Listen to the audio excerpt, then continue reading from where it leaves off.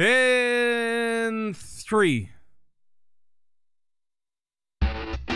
This week, Hulu Plus finally gets on the UK bandwagon. Showtime wants you to get your sex for free. Yes!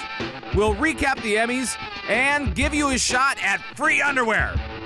What? This is That TV Show, episode 215.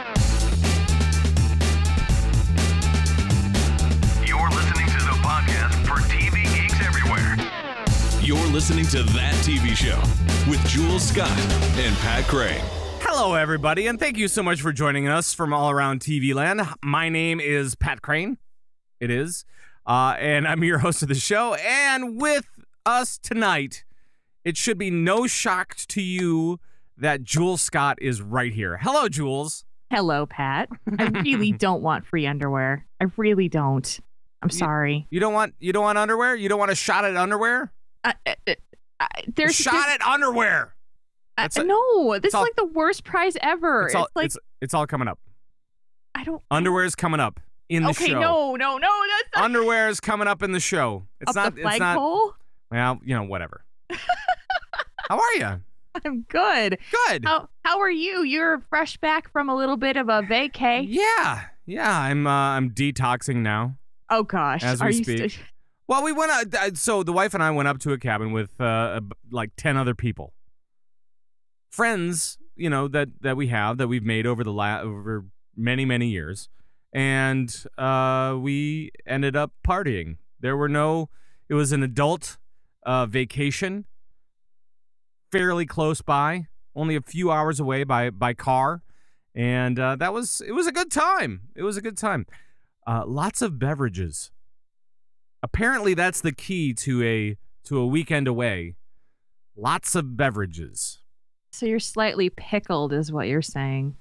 Still. um maybe i've been drinking lots of water recently that's that's all i can say for sure So when you go on these trips, do you actually like? Does everybody bring their own beverages to like share with everybody else, Oh, or is it just? yeah i mean to, uh, to a certain extent i mean people you know may bring their own favorites uh, they probably bring stuff to share they you know like we brought a case of wine that was gone in one night Oh my! it was gone in one night A case of wine?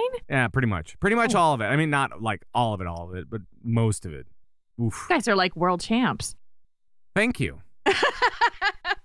Thank you. Well done. So, how have you been this week? What have you What have you been up to?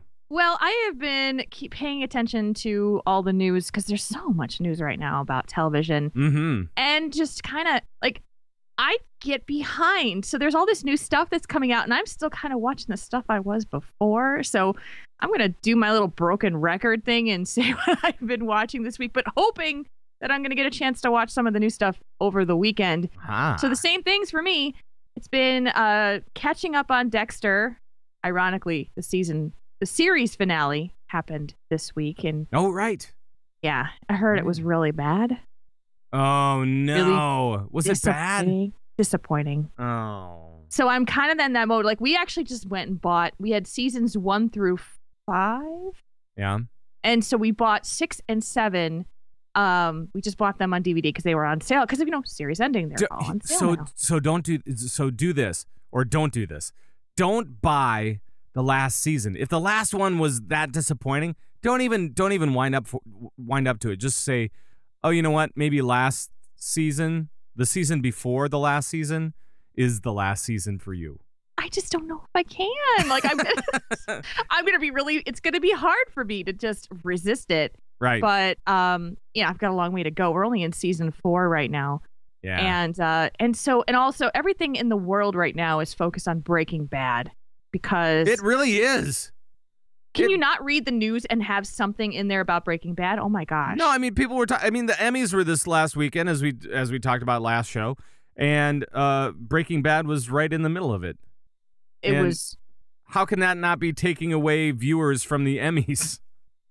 It took me away from the Emmys. I was watching them up until it was time for Breaking Bad, and I'm like, see ya.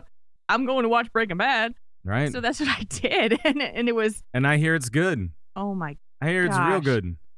And this was the second to last episode of the series. this sat this Sunday is the last episode.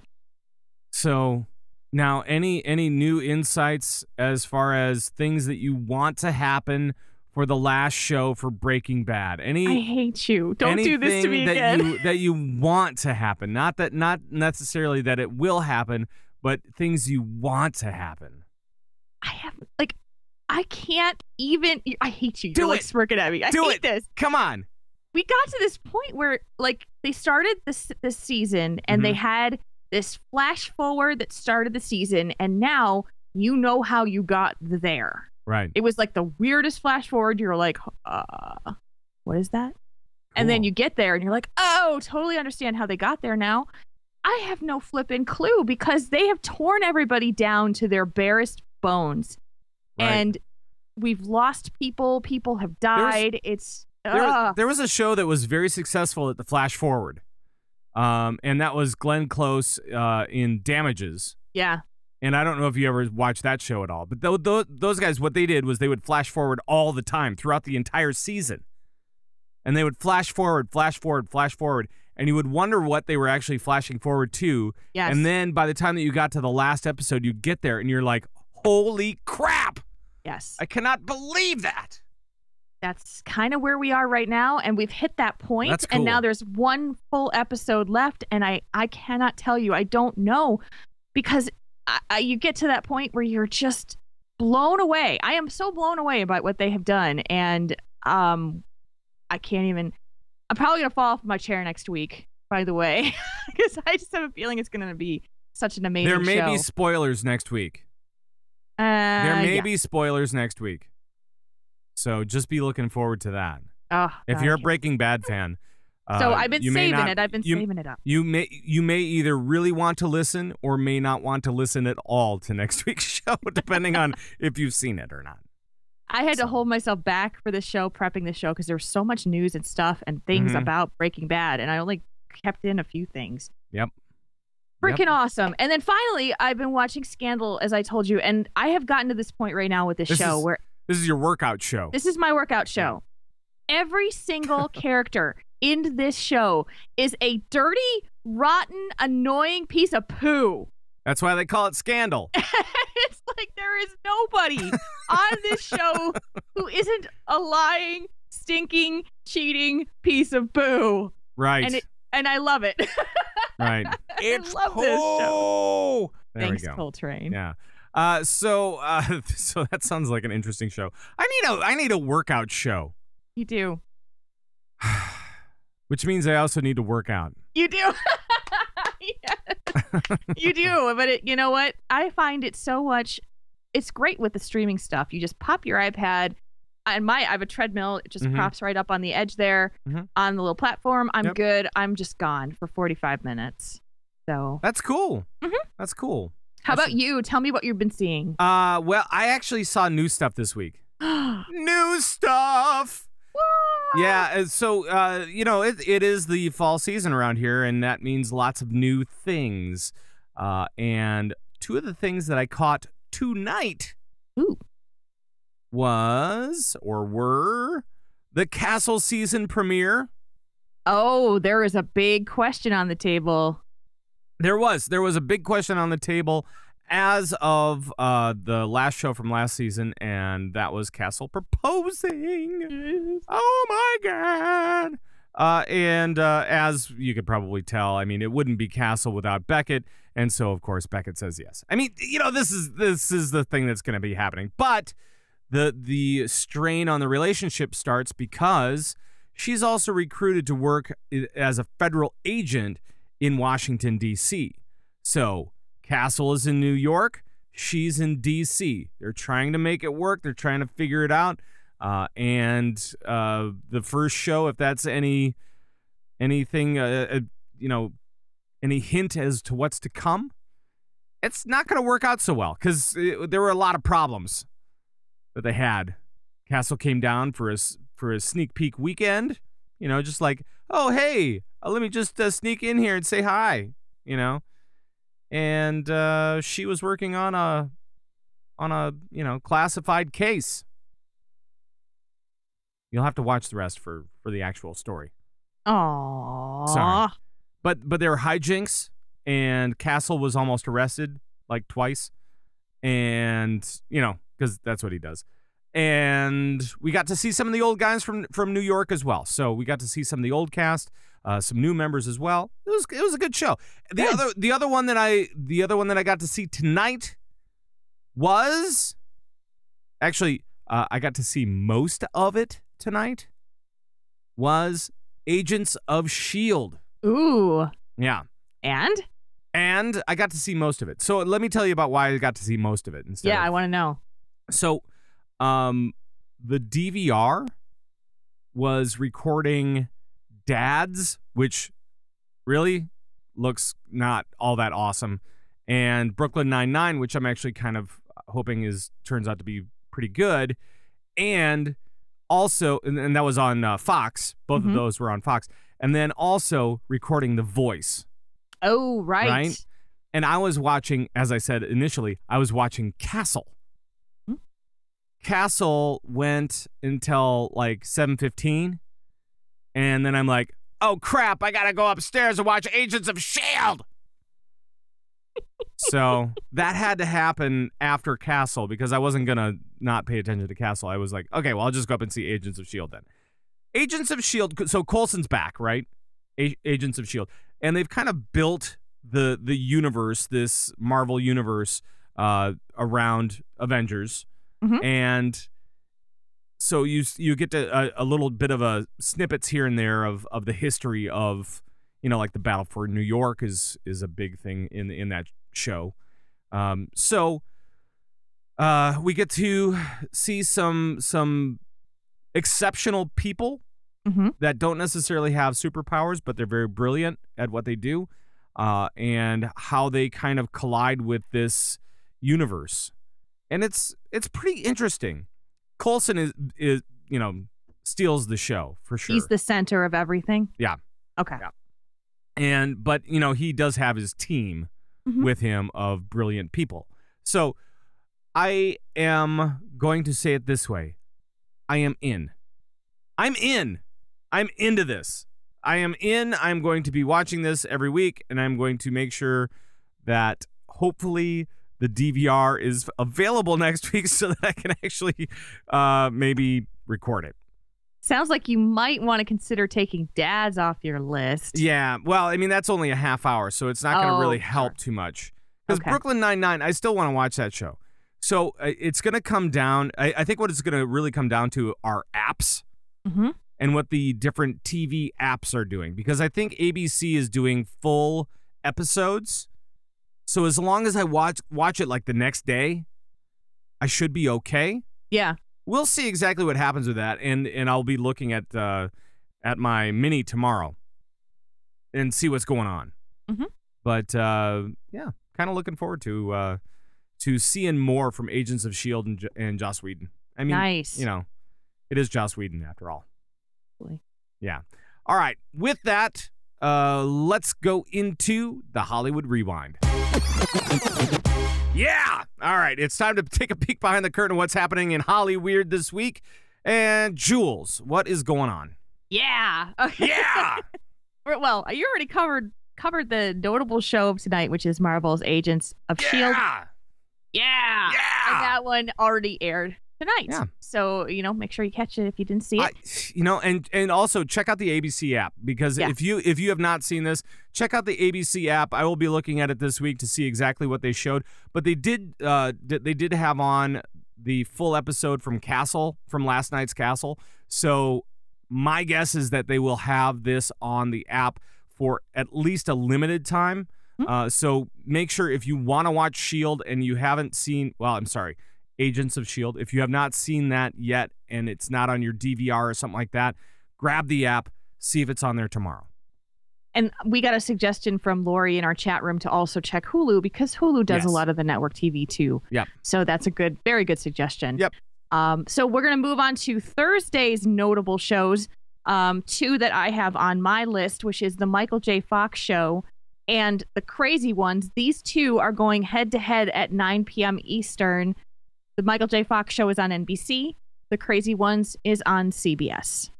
All right. Yeah, and I'm excited. So my DVR is having a war on Thursdays right Yeah. now. Yeah, I mean that that kind of is that kind of is the deal right now. Yeah. It's okay, where does the DVR give out? Yeah. And what can you do about that? Well, I guess we'll find out. I mean, this, This this, is- is, the first fall season that we've gone through on this show, so Yeah. it's tense times. It's tense. This is this is like a cliffhanger suspense. That's right. How Dun, will dun, Pat and. Jules get their TV? How will Pat and Jules actually watch their TV programs? Will they be able to watch them live or on DVR? I don't. I hmm. don't know. I don't. Stay tuned to the next episode. Stay tuned for the next episode of that TV show, and they'll tell you all about it. That's what we do. Oh. Um, and then you can move on to Friday, Yeah. Friday, September 27th. I pulled this one out because I thought it was kind of an interesting concept. If you watch Master Chef, Yeah. um, that is with Gordon Ramsay, um, they're moving into something different with Master Chef Junior on Fox at 8 o'clock Eastern with kids between the ages of 8 and 13. This is cute. I like this show. But Gordon Ramsay yells at everybody, so he's going to yell at these I, kids. he's not going to yell at the kids. I Oh, mean, yeah? No. He's not going to yell. Is he going to yell at them? He's probably going to get pretty stern face. Well, I mean, they're kids. What what can he expect from an eight year old? Does he? I mean, it's not like you're going to like the cordon bleu, you know, school for witchcraft and wizardry or whatever, whatever the hell it is. Cordon Bleu School for Witchcraft. Yeah, I mean, you know, they they do a little bit of of cooking and then they do some witchcraft. You know, I mean, it's just it, it's your standard school. This is Gordon If you- Ramsay, not Harry Potter. oh, I thought it was both. no, Oh, all right, never mind. just because they're British. Sure. Oh, you're bad. So I guess we'll have to find out with this one. I I'm not sure if I'm going to keep an eye. This is probably going to be one of those shows like if it was on TV and I was you know just kind of doing something, I might take a look at it. Yeah, I'm. It's gonna be one of those. Oh, isn't that cute? And then you, then you hate, you know, Gordon Ramsay, and then you go back to the kids and you go, "Come on, kids, do it, please, go ahead and do it." It's kind of like um watching Double Dare. Remember that show? true. Oh my gosh, yeah, we talked about that before on Yeah, the show. yeah. Double Dare was awesome. Back and in the you know day. what? It just reminded me of something What? that I did see this week, and I did, forgot to write it down. You Do you watched remember- Double Dare? No, Oh, I. w- Apparently, they're rerunning that on Nickelodeon. I know this which is a awesome. That's that's uh, stepdaughter. like uh, one of the greatest competition shows ever. It was. It was like early, like early '90s reality TV. Yeah. But a couple of months ago, you and I covered a, um, I think it was a poop topic called Cut- Cutthroat Kitchen Oh yeah. on Food Network. I saw this, yeah, I saw it too. I've seen it. I've seen it. dude. That show is wacky, crazy, and awesome. And it's like you want to like screw your neighbor. That's how you can screw over your neighbor right there, and just Right.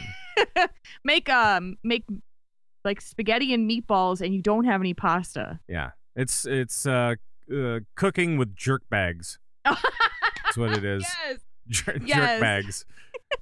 Because I didn't want to swear this early in the show. That's Oh, why. we'll, we'll save it till later. So yeah, I just see this, and it's one of those shows where it was on, and I looked over, and I'm like, "What is this? Mhm. Oh my!" yeah, no, it's it's kind of funny, and it's and it's not a bad. Um, I don't I don't know what it's teaching our kids. Ah, oh, TV teaching our kids, isn't that funny? Ooh, yeah, nice babysitter. Ooh. yeah, that's rich. All right, All right, so we'll talk about what's announced this week on Hulu Plus. There's some big news that fans are going to get another reason to never leave their computer. They announced that Doctor Who, Top Gear, Sherlock, Luther, and other top BBC programs will be available on Hulu Plus in the fall. yay! Yeah, and That's so awesome. this is a great way for people to get this. And I looked this up. Hulu Plus is only $7.99 a month with Mhm. limited advertising as part of it. And you can actually try it for one week free. Mm-hmm. I think that's a great option if these are the shows that you're totally into. They're also going into some classic BBC shows like Fawlty Towers, Upstairs, Downstairs, to name a few. Right, Blackadder. Black Ad. I don't know what that one is. Oh, that that's um uh uh what's his name? Uh, Mr. Bean. Oh, he's in Rowan. Atkinson. Yeah, yeah. So, uh, and they're all they're all fantastic shows. So, Oh, very I mean, nice. if if you're a Doctor Who fan, I know lots of Doctor Who and Sherlock fans for sure. Lots of Top Gear fans. I don't know if you've seen Top Gear. yeah, I've seen Top Gear. Yep. They're they do some funny stuff on They Top do. Gear. They do some really crazy stuff as well. Mhm. And so I was I actually caught that this week, and without even seeing this story, I, I caught some of that this week. I mean, a little bit here and there. Yeah. Um, but uh, great show. Much better than the U.S. version that they tried for a little bit, and it was horrible. Yeah. But the, Well- but the UK version is great, and and um and like all of these different shows from the UK are going to be fantastic. So I know. Th- This was great. big news this week for Hulu Plus. They're really kind of drawing in the audience a- for the paid subscribing base. yep, that's a big get. hmm That's what you call a big get. I don't even know what you mean, but okay. Well, it's like it's like you know they got BBC to jump on board with those guys, and that's awesome. So lots of good programming for you guys. I know. Mhm. And there's some more new programming for you, Mhm. even if you are not a subscriber of Showtime. yeah, There is a new show coming out on Showtime called Masters of Sex. And this one is a series that is talking about the famous couple, William Masters and Virginia Johnson's Masters and Johnson. Um, oh yeah, They- yeah, like Yeah. back in the back in the the fifties, talking of like very taboo subjects known as sex.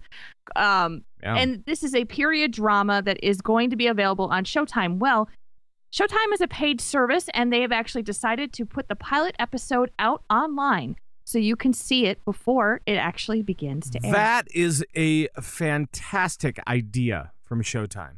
Yep. From Showtime, this is a really good idea because this could, or it, has the ability to, suck people into the show. Yeah. Maybe enough to get a subscription to the channel. And if they just do it with the pilot, that's cool. yeah, Yeah. And I about- am and- actually- and it's and it's about sex. which of being, you know, that's a favorite topic of yours. Yeah. it really is. Uh, I don't know what I'm going to actually put here. I just thought it would be a great bit for the music. All right, that's it.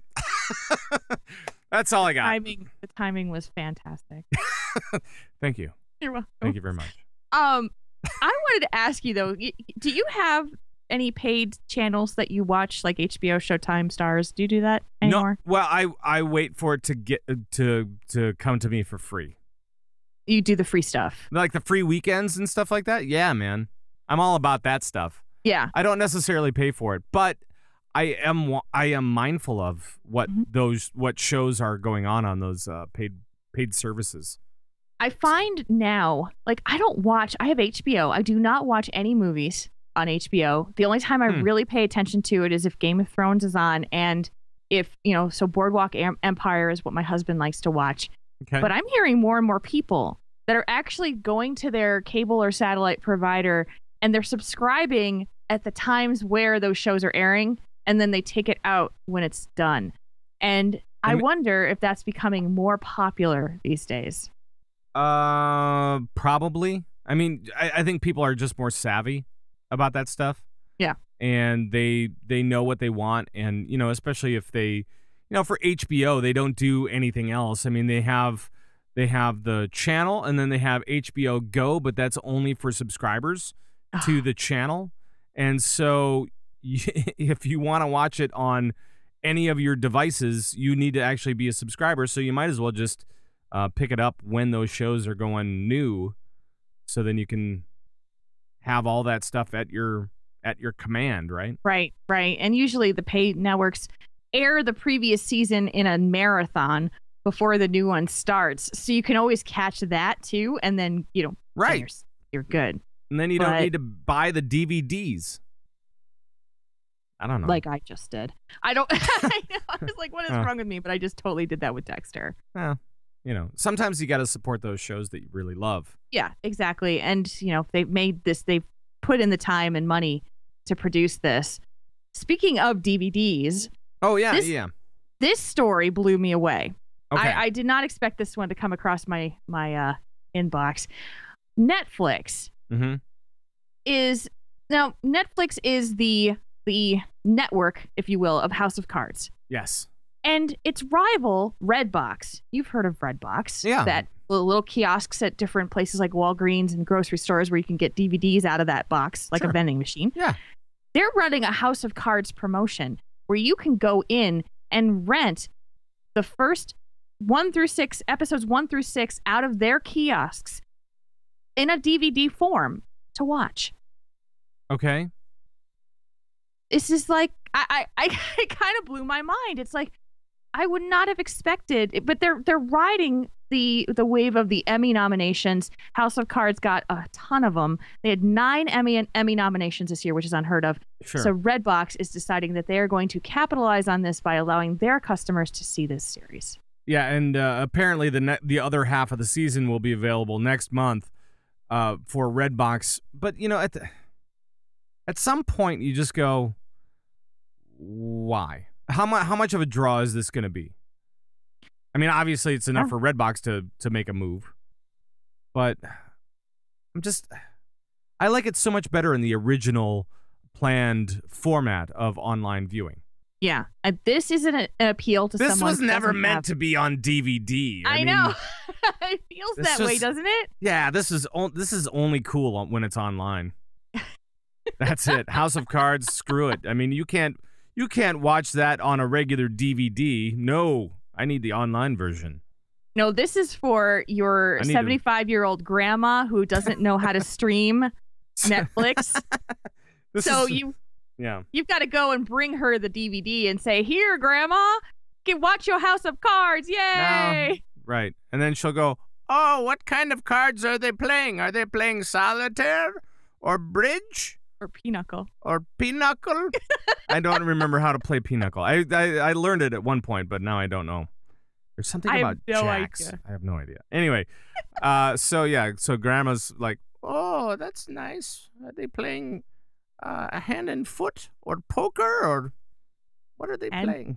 Hand and foot. What is Yeah, yeah, yeah. There's that's one of the card games. What? It's a card game. It's Is called this like hand a and foot. Minnesota thing? Maybe I don't know. Maybe it's a Wisconsin thing that you just aren't aware of quite yet. I don't, I don't know. People know about this stuff. You're terrible. anyway, anyway so but this this is i think a really smart idea from redbox one i would not have expected but these guys know what they're doing. They made this this franchise of redbox extremely appealing to people. I i have not i don't rent a lot of movies. I don't look for a lot of movies but i had my I haven't rented a movie since Blockbuster went out of business. I know, but when my parents were in town in May, we were like, well, let's watch some movies, and nothing that we wanted to see was on streaming. So it was like, well, you could go over to Redbox. I have an app that can tell me exactly where that movie is in what kiosk, and I can reserve it right from my phone, and I can go drive over there and pick it up. If you have that app, then pick up a Netflix app and just get the thing. But it doesn't stream on the thing. I, I'm just shaking point. my head now. I, I can't do anything else. Just I- shaking my head. You, you just don't get it. You don't. Get I don't. I don't. You know why? Because I already have Netflix. So I don't need to get it. You are not the target audience. I am definitely not the target au- audience. I am savvy about this stuff. These guys are just trying to trying to score a quick buck. And hats off to them. Yeah, they are. But we speaking of target audience, by the way, Yeah. the Emmys, man, the Emmys blew us Mm. away. Uh, And- yeah, we should probably. Oh, wait, hold on a sec. Let me let me cue up the music here, and we'll talk about the wrap up for the 2013 Emmy Awards last week on Sunday. All right, there we go. Yay! Yay! All right, so uh, the Emmys were not kind to either one of us. We got ripped to shreds. Well, I am so bummed too because I doubted myself. Yeah. and I shouldn't have doubted myself. I shouldn't have. I well, actually, let me let me put it more bluntly. I should not have doubted Jeff Daniels.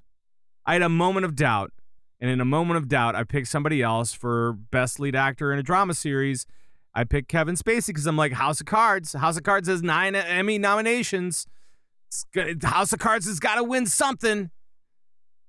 But no, not that one. Jeff Daniels, uh, big congratulations to Jeff Daniels for, for winning that for the newsroom. Uh, and uh, Jeff, I'm sorry. I'm sorry I doubted you. I, I I've always loved you. That's never been an issue. But I didn't pick you, and for that, I apologize. I was so disappointed when I saw that because I just knew that your You heart were- broke a little you bit. Were, no, I was I was like really happy for for him, and just sad for myself because I know that we have this bet going on, this personal thing, this this competition thing that we always have going on. So And it didn't even turn out to be a competition because there were so many freaking upsets from this, I know, this they're- round there really were. that Pat and I, we tied. Yeah, four. Was it four to four? Four to four. Four to four. Four And to we- four. Yeah. And we missed everything else. Yeah. Like uh, we missed Tony Hale from Veep as uh, best supporting actor. And best supporting actress was Merritt Wever. And by the way, Merritt, so okay, uh, she was also guested on New Girl last season and early early this season. Um uh she's from Nurse Jackie. She went up there, she was the first one to win. And she just said, "I have to go," and left. And everybody was so confused by her by by her acceptance speech, quote unquote. And it was very weird. And what she said backstage was she said, I really didn't think I was gonna win. I got she- nervous. and then she got nervous and flustered and she's like, I gotta go. I thought that was adorable. That's adorable. It was awesome. And I, I came back after I was watching this. I got up, I came back, and there's Neil Patrick Harris standing there after the break going, Merritt Wever, best speech ever. Yeah, best acceptance speech ever.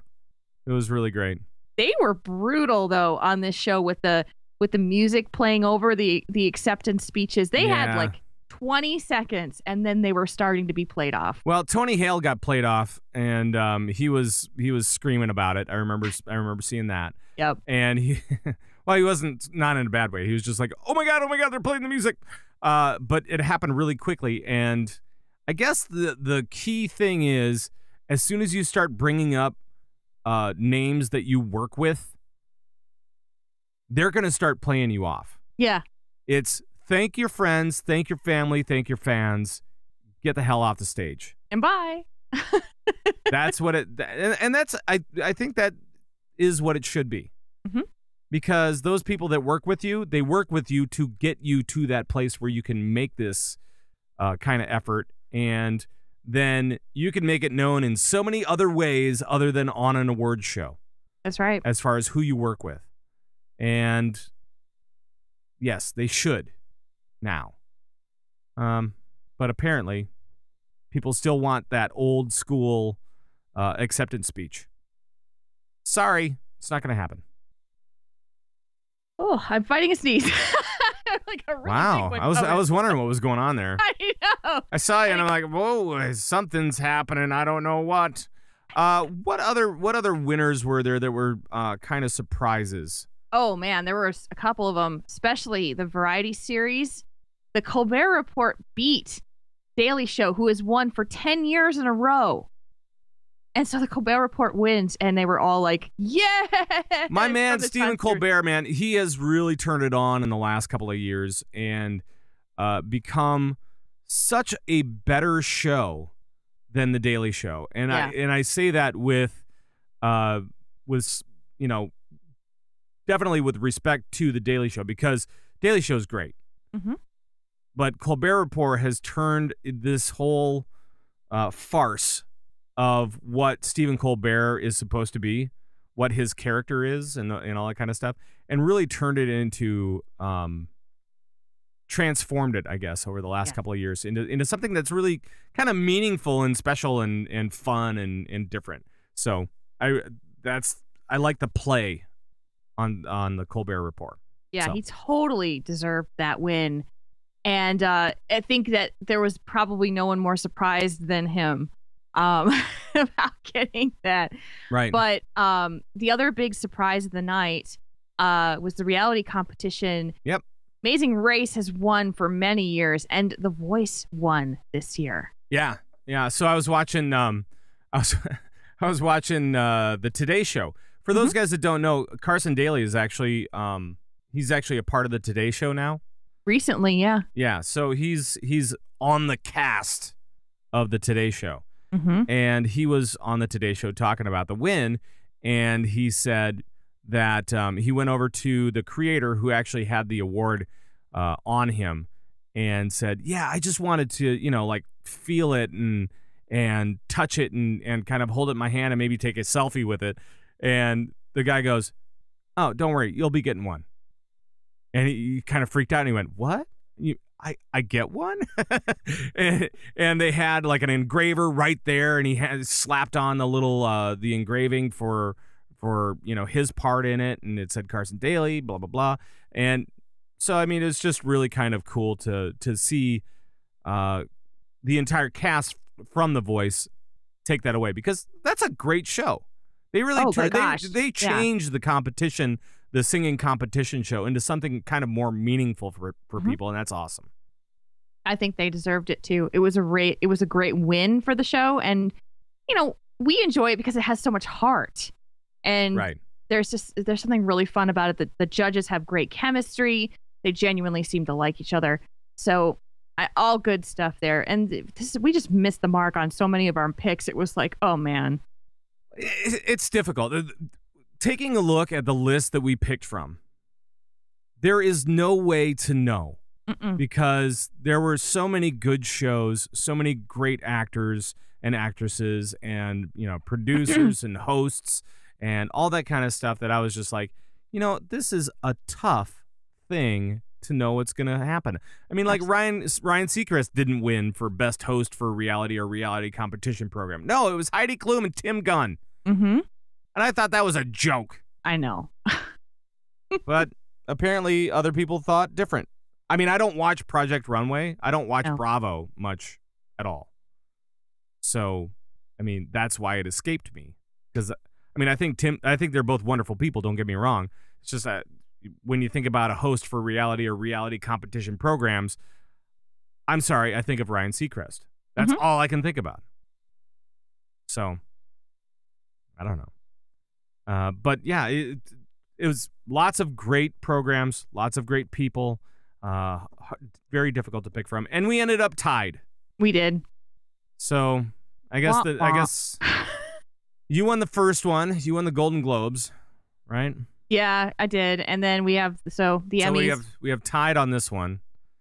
we gotta wait Uh, till the Globes again. Yep. Two out of three. best two out of three, We're gonna be here for a while.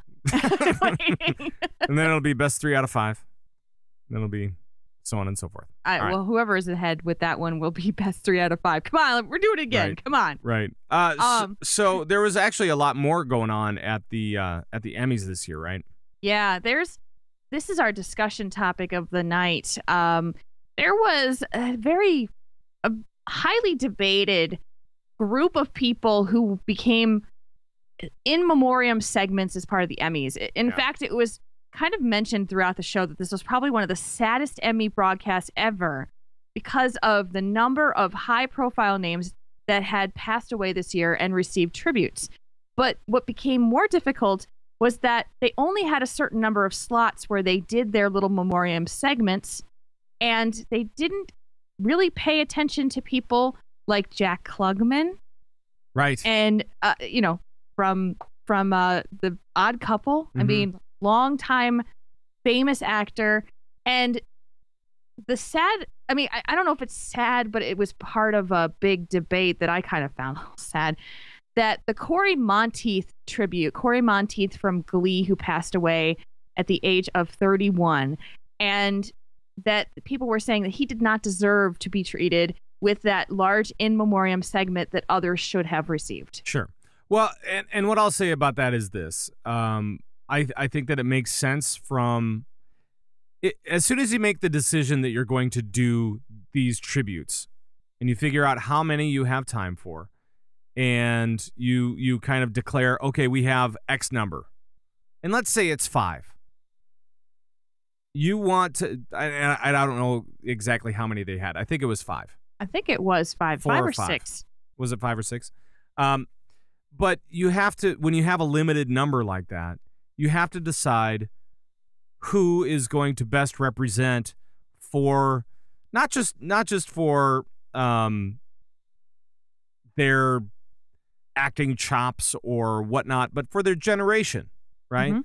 So you have people like James Gandolfini, who passed away in Italy in, in the spring, uh, and Cory Monteith, and you have Jean Stapleton, and you have Jonathan Winters, and you have all of these guys, and then uh, you know uh, Gary Goldberg, right?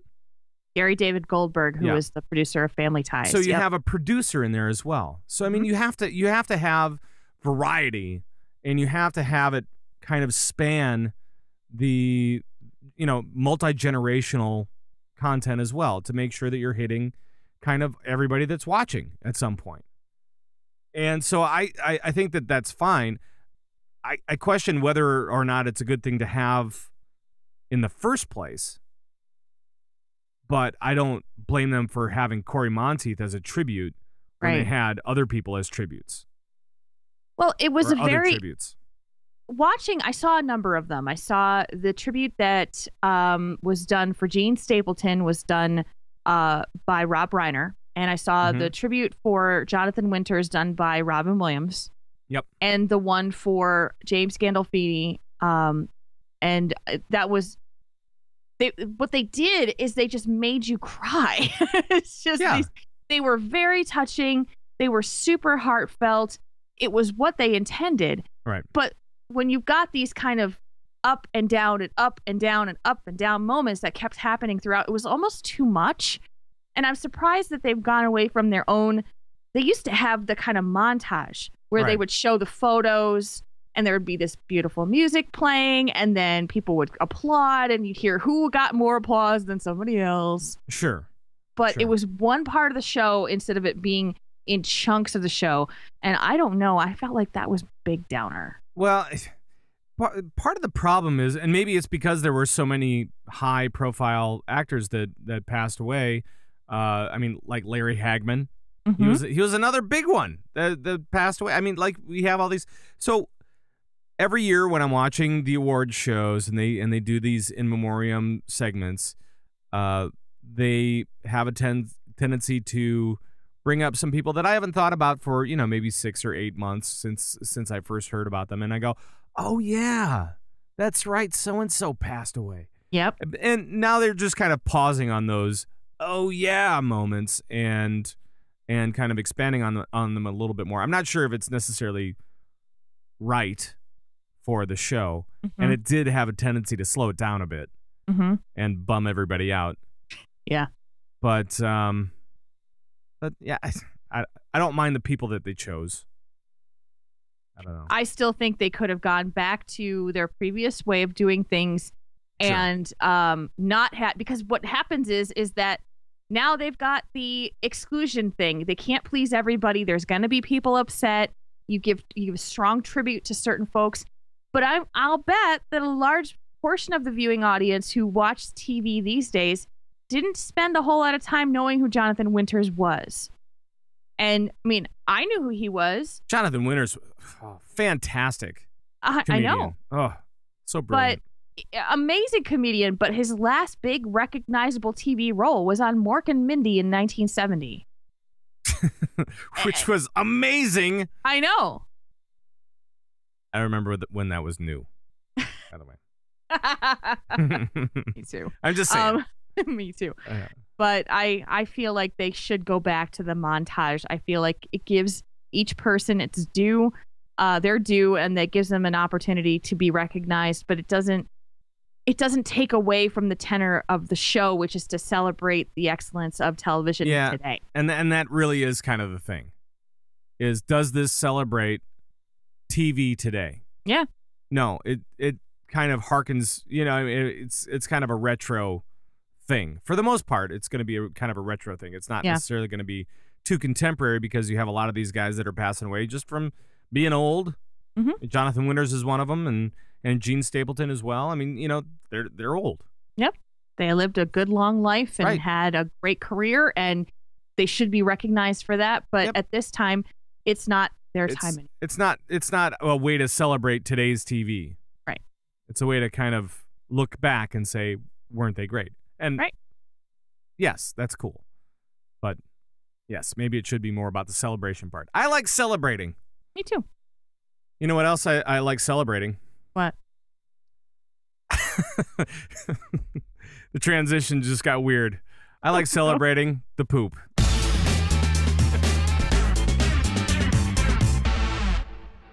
Uh, so I'm sorry. Sorry, not sorry. Sorry, I'm I'm yeah, I'm sorry, but I'm not sorry that I celebrate the poop. Well, I, I do. I celebrate the poop on the show publicly. And you're proud of it. I Well, well, I'm gonna I don't know about something- proud. I'll, I'll just celebrate it. All right. So what do we got on the poop this week? I'm gonna give you something to contain your poop. Oh boy. How about a pair of Walter White's undies? What? How about it? Uh, I'm in. What do you? What, what's going on with it? What's what's In- happening with it?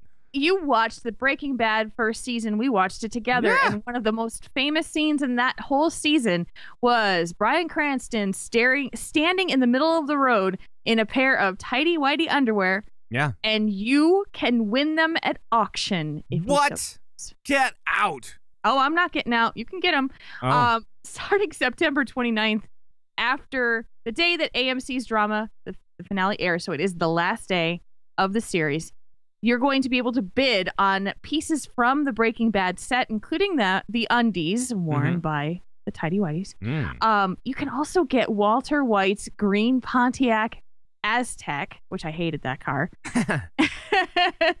uh, Jesse Pinkman's and Walter White's hazmat suits, the yellow ones. oh, yep. the yep. pink teddy bear, Oh wow. pink teddy bear, uh, the bell and wheelchair from Tio Salamanca. Oh, Tio, man, that guy was creepy. Just Yep. dinging that bell all the time. It was crazy. You can also get guns. It was just it was just all over the place. It was just oh god.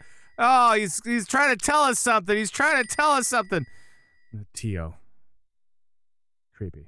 oh, and that bell, because you have not seen season four. At the Yeah. end of season four, that bell Yeah. is the biggest. Oh, biggest news of the the uh, episode. Really? oh my gosh! It comes back. Yeah, he does come oh back. boy. So yeah, you can you can do this by going uh and going to this auction and it's it's doing it's on screenbid.com is the website. So you Okay. can auction get studio props from there if you want. If you Cool. want that. Cool. Uh, the uh, you know the reason why this fits so well into the poop is because it is about underwear,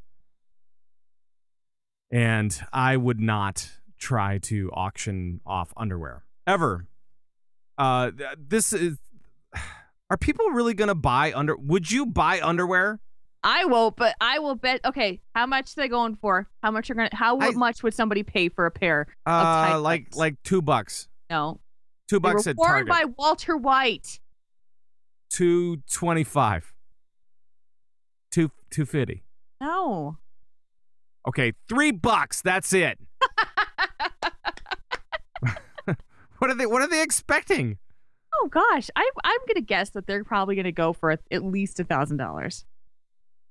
Are you kidding? Is it going to charity? Is the money No. is the money going to, to charity? Because then, not a thousand. I mean, they're expecting mean, to I- raise about two million. How would you feel? How would you feel about displaying underwear in your home? I mean, I don't care if it's framed or like on a on a mannequin or I don't know what I don't know how you display it. Maybe you just wear it, which is kind of weird to me too. But uh, I mean, you know, hey, your undies, your rules. Um, but but I mean, how would you feel about displaying that in your house? I, you could be like, uh, you know, these are my. They're okay. The starting bid on this underwear, I'm looking it up right now, two hundred and fifty dollars. What? Two hundred and fifty dollars. That's no. Two fifty. Yes. Uh, I, I'm talking two dollars and fifty cents. No, two hundred and fifty dollars. You Not got to look it up to 250. see it. It's there. You could you can fit on those. Ah, that's craziness. so there you go.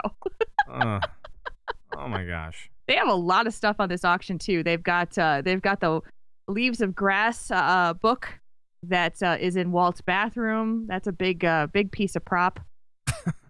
That's a big piece of prop. It's a big Uh, piece of prop. It's a big piece of crap. It's Jesse's Hello Kitty phone is here. Yep, Yeah. that one's good. Yeah. Oh, the bike lock that that murdered the guy in the basement. Oh. Yeah. Yeah. I You can would get- actually. They'd have to pay me to get rid of that one. yeah. No, you want to sell this? No, no, that's all right. No, that's okay. You guys can just keep that. That's fine. These are these are amazing. So yeah, you can, you can bid on these. Screen screenbid.com is the website you can go get this. The hazmat suits, uh, that I can understand. At least that's useful. So I'd pay a couple grand for that Sure. because they only cost like 10 bucks normally. I don't know. I don't know. It's just but I just can't do it. there is nothing better for the poop than something like this. Come on. Yeah, it's a bunch of crap.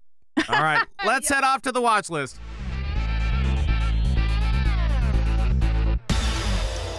Ah, the watch list. Uh, this is the part of the show where we take a look at shows, and we take a look at them, and we we examine them throughout an entire cycle. Uh, and uh, you know, normally it's been a month. We're we're starting to change it up a little bit, and we're starting to say, you know what, these guys, these shows maybe deserve a little bit more attention. So we're going to watch an entire cycle or season or whatever, and we'll get back to you on exactly what's happening with this stuff. And uh, hooked or not, we'll try to tell you more about this show as we watch it. Right? Right. Is, is that what we do? Yeah. Okay. So what do we have for this time around, Jules? This time around, we are watching Being Being Human, the UK version on Netflix streaming. Mhm. And this is the story of a werewolf, a ghost, and a vampire who are sharing a household and trying to fit in into normal society. Yes, it's the original Odd Couple. This Very is the so. this was the original ver- this was the original vision for Odd Mhm. Couple, and I think that uh, Jack Klugman was supposed to play the ghost or the werewolf, or maybe both, He probably is going to be the vampire. because Tony Randall was the vampire. Let's You face it. You think so? Oh yeah, he's way too neat and tidy. He'd be the ghost, in my opinion.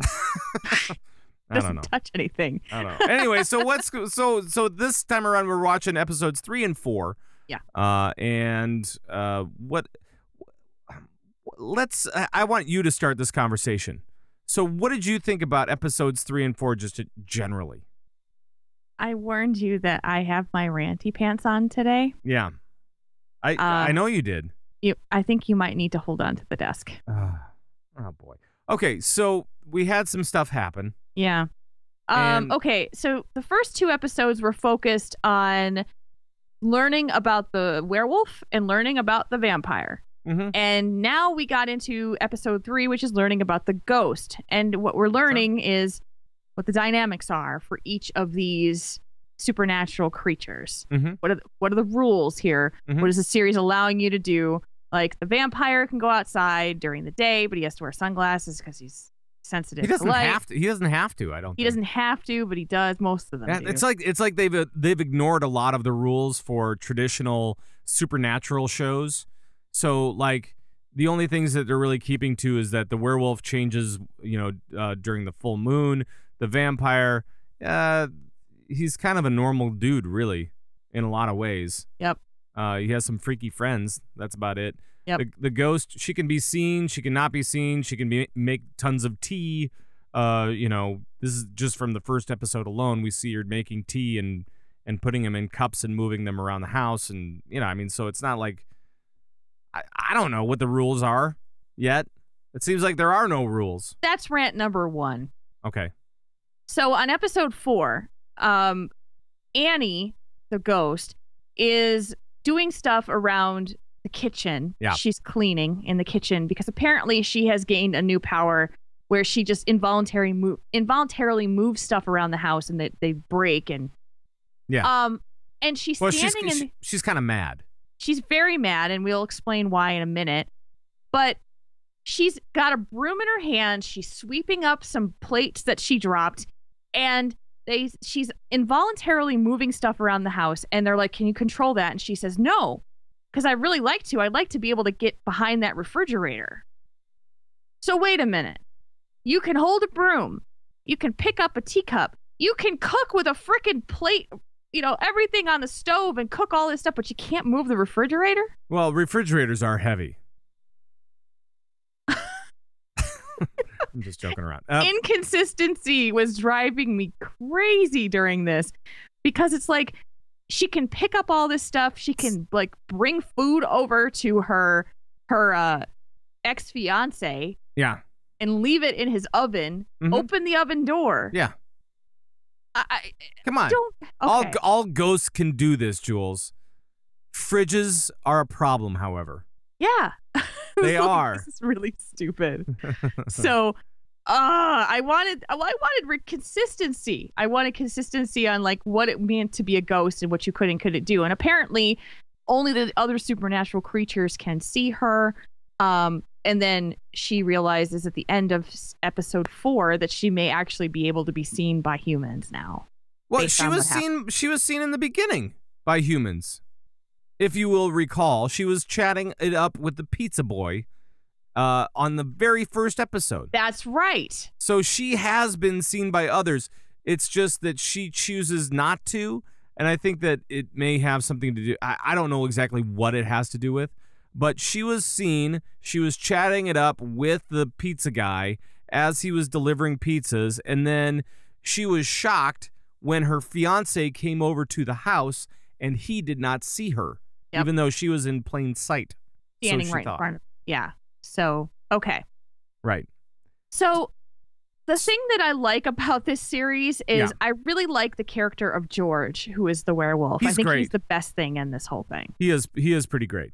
And um but he's probably the only thing right now that has any redeeming quality because he actually has a consistent storyline of things that go with him. He changes at the full moon. Um there's some comedy. He's got some of the best lines in the whole thing too Oh yeah.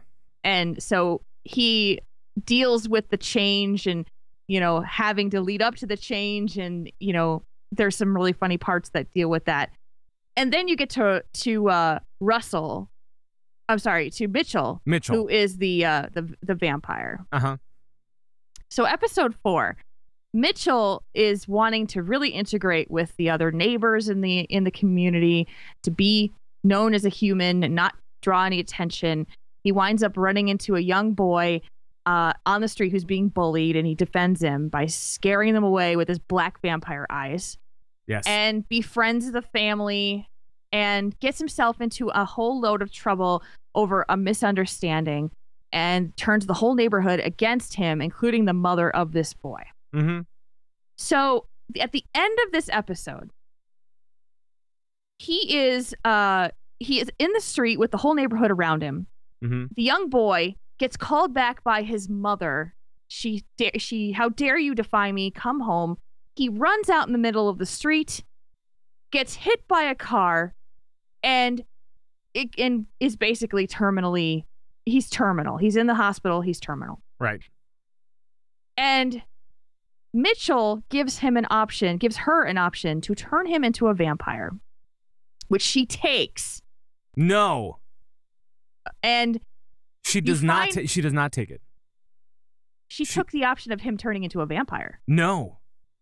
How I don't. I don't think she. did. I don't think she did. How could he have recovered from that? Well, I mean, Mitchell gave her her son back, and I don't. Yeah.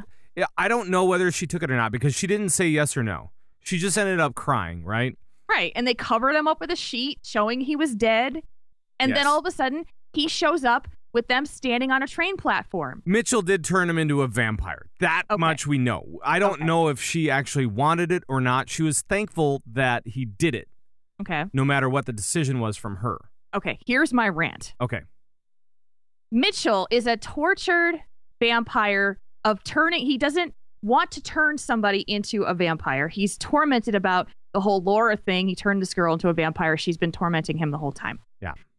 So he turns this 12 year old boy into a vampire, Mm-hmm. turns him over to his mother as a young vampire, and says, See ya. Yeah. I looked at my husband and I'm like, Are you kidding me? You're gonna leave a human in the in and you're gonna put her Yeah. in custody of a young vampire and she doesn't know what the hell is going on? And you're okay with this? Yeah, I, I, had, I had some issues with that as well. Oh my god, it made me so mad. and there's Mitchell who then goes back into his emo brooding phase of like, I turned another one. Uh then don't do it. Right. Don't do it. Yeah. I don't I don't know why he did it either. I think, you know, he felt he felt uh some kind of kinship with the kid um and with the with the mom, you know, wanted to wanted to make things right with her somehow. Yeah. And after going through the entire experience of being called basically a pedophile in, uh, to the whole neighborhood. Yep. And if you guys haven't seen episode four, uh, you should really uh, check it out because it it really does kind of uh, touch on some some things about misinformation and Yeah. and uh, I'm not saying that what they did was wrong, but even though it was misunderstanding, um, you know, whatever. Anyway, uh, so I, think Mitchell was trying to make things right. He was trying to do the best that he could, and if that meant turning uh, him into a the the kid into a vampire, he was willing to do that.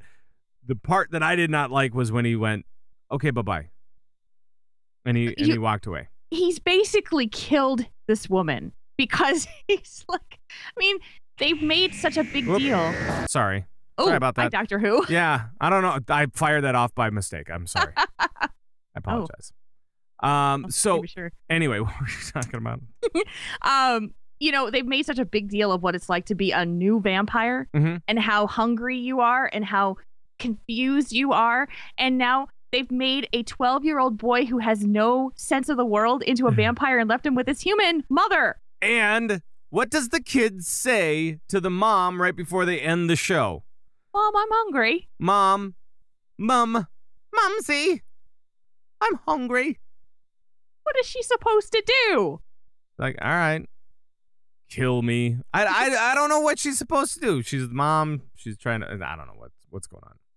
Anyway, And now she's a human who knows that vampires exist.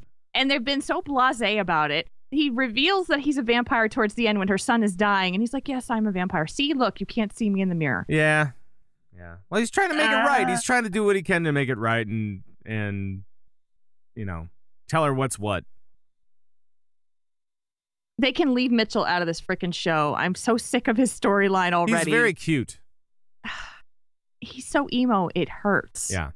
Well, and that's and that's kind of the way that it goes, right? I, I think that I think that the way that I see it anyway is that George the werewolf, he is the comedy. Yes. So he's the lighthearted comedy of the tragic guy that turns into a werewolf once a month.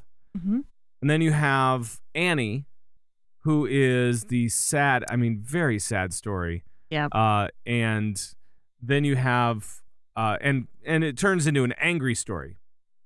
And then you have uh, Mitchell, who is the tormented soul Yep. or the tormented undead. I, I don't know what, what whatever you want to call him. So you have those three different angles of this, and and sometimes they match up just fine. And the the, the funny thing too is that with Mitchell, when he's not completely emo, he's really kind of a happy guy. Yeah, he can be. He's like really super hopeful. and then his the the world just gets yanked out from under him, and he's uh, uh, then he becomes all emo, Well, because he's the super hopeful vampire. and then he forgets about it.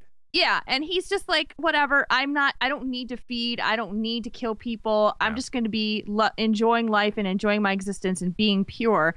And he constantly has these the other vampires coming to him saying, "You are not right. You must do this. You cannot be this way." Yeah. And it just continually upsets him. He goes through his little broody phase, and then he kind of re- he writes himself, and then it happens again, and it's like, ugh.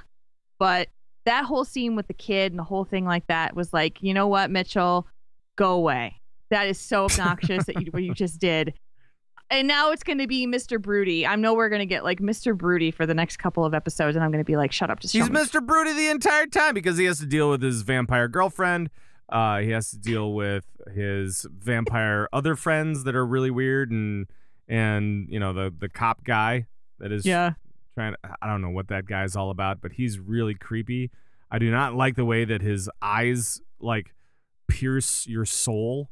his through teeth the- are really weird. Yeah, it's when he not, smiles, it's like his face is full of teeth. It's not good. So he's got all these freaky friends and the vampire girlfriend, and now he's got vampire son, I guess. My Neigh- vampire vampire girlfriend. vampire neighbor boy who brings the vampire paper every morning on his vampire bike. And he throws it at the vampire door and says, "Here's your vampire news" to the vampire that lives inside. And so, yeah, with the werewolf and the ghost. with the werewolf and the ghost.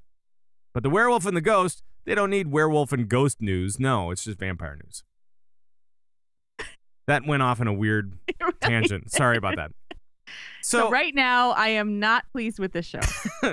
right, and I, I was so I was talking with the wife. The wife, by the way, she's watched the U.S. version of this stuff. Okay. and she has watched episode one. And she, and she was like, you know the the, you know what the U.S. really gets right is uh the music. She's like, the U.S. music is so much better than the U.K. music. Blah blah blah. So that's her takeaway. That's Okay. that's her insight so far. We'll see what else she's got as as as she catches up to us because she's gonna do it. Oh, she's good at this. She can watch those things fast. Oh yeah, oh yeah. Because what does she do during the sh- shows like this one? she's watching TV. She's watching Netflix, stealing all my bandwidth. Son of a. Uh, so we have two more episodes to watch of this cycle yes. or series, whatever whatever they call it. What do they call it in the UK? Is it series? I think it's uh Not because they don't call Not it series. seasons. it could be series. Series 1, series 2. Yeah, Mhm. I think that's what it is. So we've got two more. So let's let's watch those. We'll we'll kind of come to a conclusion after that series. Okay. and then we'll pick something for the time after that. Which I think that's fair. I you Yeah. know, think we've given it enough shot. enough shot? I've enough of shot a shot. enough. enough of a shot. Pick something. pick pick one phrase over the other. Words are hard. Yep. I talk good. me me talk pretty. Meh. All right. we should do a podcast together. That's right. Hey, I've got an idea. I can't talk and you can't write. Let's do a podcast together. Woo! Boom. Done deal. All right. Speaking of not writing anything, let's go into the hit list. I don't know what that has to do with anything, really. You really can't talk now. You're just like reaching for stuff out of the air and plucking it. Yeah, well, at least I can form a sentence. Fair enough. All right, so what do we have for this week's hit list? well, you know, it's an Emmy themed episode, so we'll stick Oh. with the Emmy theme again with our hit list. Yes. This is Emmy's biggest snubs actors who have never won an Emmy. Mm. You'll be surprised by this list. Right. Uh, first up, we have Jerry Seinfeld, only the, like the biggest name in comedy in sitcoms in the early '90s, and he had like five nominations in a row. Yeah. And his series won Best Outstanding Comedy Series in 1993. Right. Jerry Seinfeld, however, has never won an Emmy for himself. Maybe it's because he talks like this. What's the deal with lists like this? I don't know. That was very bad. Right. Right. Next, we have Jon Hamm from Mad Men. He also has had five consecutive nominations and has never won. That's crazy. What are you talking about? I don't know. I'm. I'm I, that's a that's a very bad Jon Hamm impression. I, yeah. Speaking don't of know. speaking of bad Jon Hamm impressions, uh, also uh, on the hit list is Angela Lansbury. She never won. She never won. Uh, you know, we know her from Murder She Wrote, or our grandparents know her from Murder She Wrote, and uh, in many other shows as well. Uh, so, but yeah, never won an Emmy. Amazing. That is crazy. mm-hmm. I think this one was probably the one that I went, no way, on the list. And that is Andy Griffith. yeah. He has never won, he's never even been nominated. And that was for the Andy Griffith show. He's never nominated. But his co star Don Knotts won five Emmys for his supporting performance in that same show. Wow. Wow. And he was, I mean, Andy Griffith was on like three or four huge shows. Yeah. That's amazing. Yeah, he was only nominated for one time in his career, and that Huh. was for a supporting role in NBC's 1981 TV movie Murder in Texas nomination. Weird. Weird. Mhm. Hmm.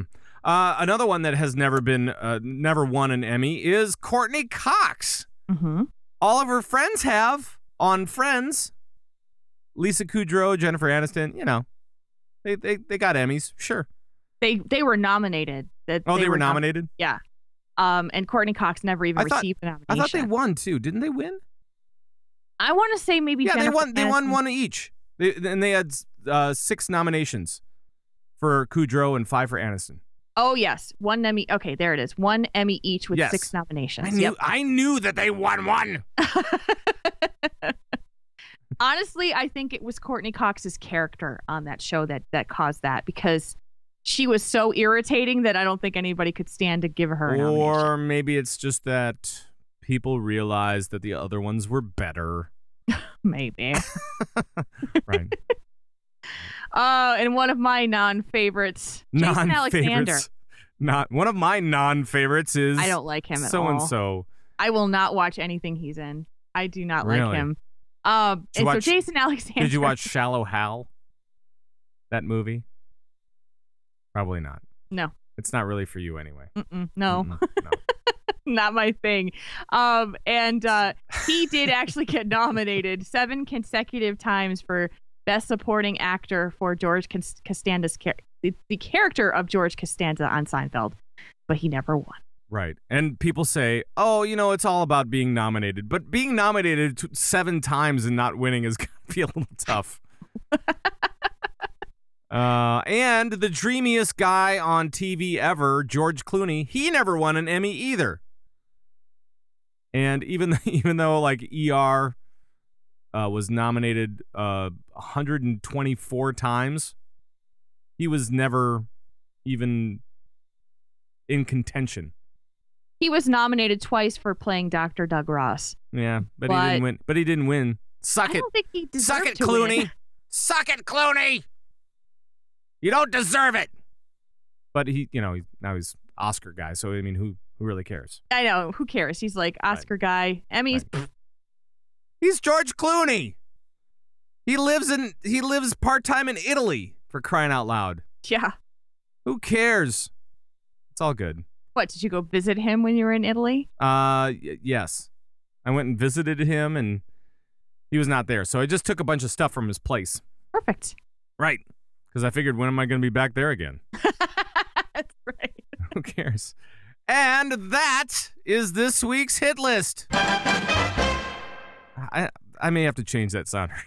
You say this every week. I know. Well, I, it may have to happen. But that is the end of this show uh, with the end of that hit list. So uh, I will say it this way. Thank you so much for listening, everybody.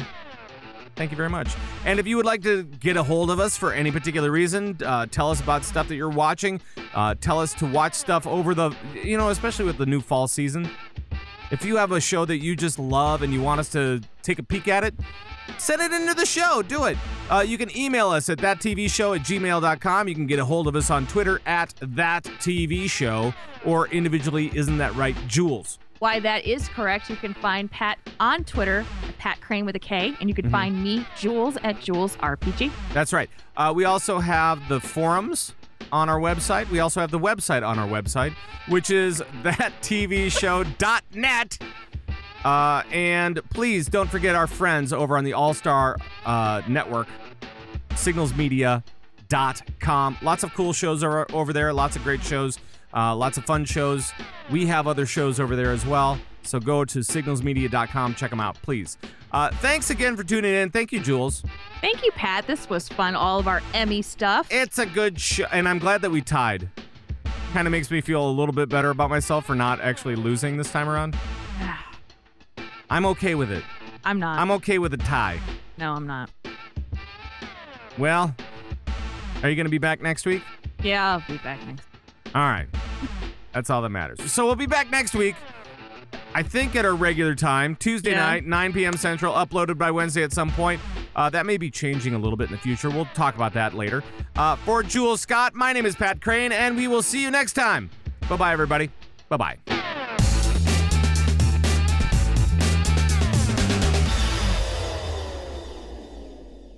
This podcast is a part of the Signals Media All Star Network. For more information on this and other fine shows, go to signalsmedia.com. It's okay to stick our stuff in your ears.